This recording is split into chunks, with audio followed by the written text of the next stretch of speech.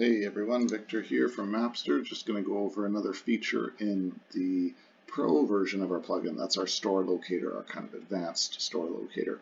In the free plugin, we have the uh, list um, thing, which is kind of like list control, which is kind of like a basic store locator, but you know, a lot of times you want to build something that looks a little nicer, or you, you can at least style more, has some more functionality, that kind of thing. Um, so we have one of those built out now. Um, before I get too deep into this, if there is another type of store locator you're looking to emulate, you'd like to do with uh, Mapbox or with the plugin, just get in touch with us. We'll probably be able to add some new styling. Uh, this was kind of a custom build for a client that we then added into the uh, locator or into the plugin. So uh, let's go over it. So one of the first things we got to do is we got to head to our settings once we install um, our, our Pro plugin and make sure that store locator is turned on. That just makes sure everything gets loaded in the front end uh, properly for you. Um, then we're going to head over to locations. We're going to make some locations that have to do, uh, that, that, are going to be our stores. So those are going to be points. You know, you probably don't have lines or polygons as your locations. Um, you can still add them on the map, but they aren't they aren't found or listed as uh, your store locations. So in this case, I just have a whole bunch of test ones, so they're just randomly named and stuff like that. But if we just hop into the, one of them and take a look, you can see uh, it's in Vancouver here, and I just have it as a default marker or whatever. Um, and we're just going to go right down a little further to where we have additional details. So this is very specific to the store locator, so you'll want to turn this on. You can add an address for the store, uh, phone number for the store, as well as uh, the hours uh, you know, that you're open, closed, whatever. You can change this as uh, the year progresses, that sort of thing. Uh, and these are time fields and you just select closed or, or not. You can also add social media. It'll only show the ones you add. I have them all just for testing purposes, but um, there you go. Feel free to add your links. And then uh, you can add a little bit of description that will show up when someone clicks on that particular store. So uh, before we get a little further in, uh, we're just going to take a quick look at the store locator. So this is just an example of it. Um, so we just have on the left hand side our list here and we click on a location it'll move it to us. We click back and it'll move back.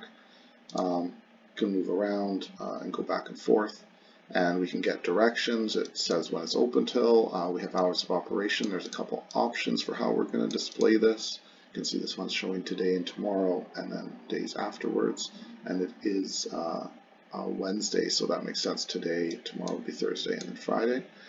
Um, and yeah, we have directions and phone, and this is just a telephone link, so in a mobile this will open up right away.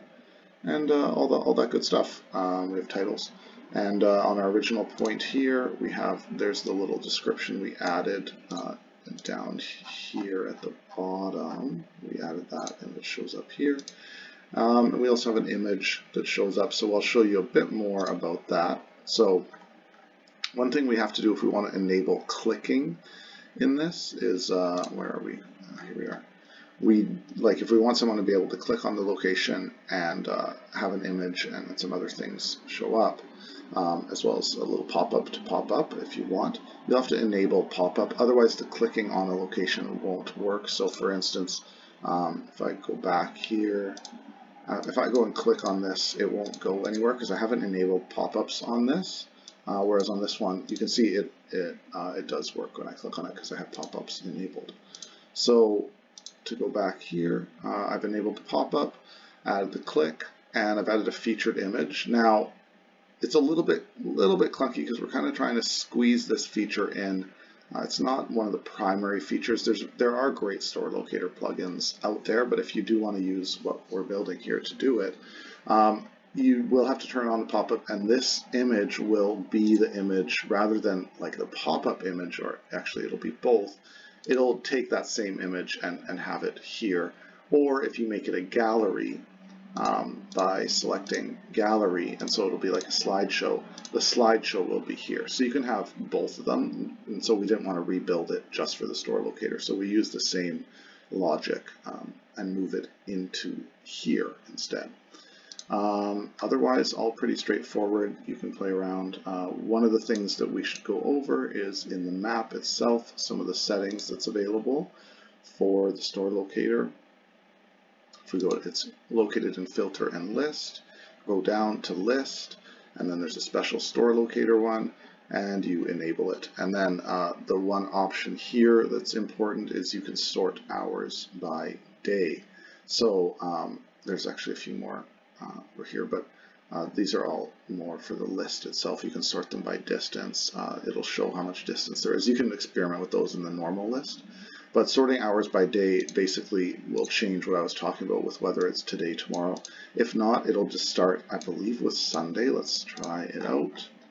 See what happens when I flick that off. We'll update it, hit over here, reload, and see what it sorts them as. I think it's from Sunday.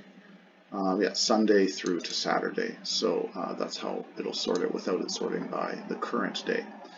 Uh, so that's basically the store locator. Um, you can see in this case I've made it like a full width, so I did that by going over here to setup and selecting the full page, ignoring a container.